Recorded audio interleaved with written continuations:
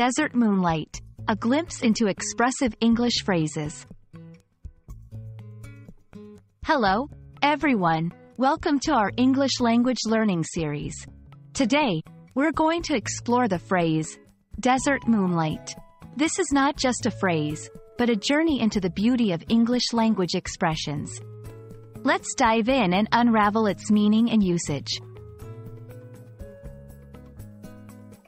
Desert moonlight is a phrase that evokes a specific image and feeling.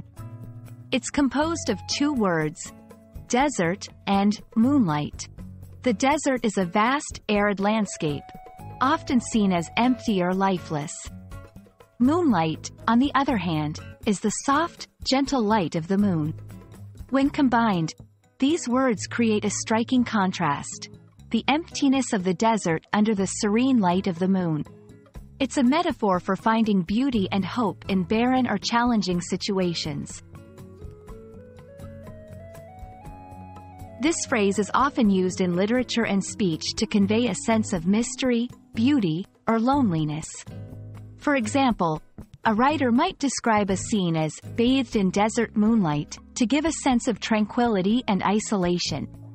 It's also used to describe situations in life where there's a glimmer of hope in a challenging situation, much like how moonlight brings light to the dark desert. In the world of metaphors and symbolism, desert moonlight stands for contrast and hope. The desert represents life's challenges or desolation, while the moonlight signifies hope, beauty, and guidance.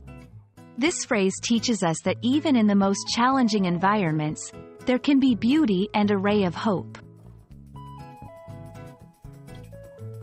I hope this exploration of desert moonlight has been insightful and inspiring. Remember, phrases like these enrich our language and offer deeper meanings to our expressions. English is not just about words.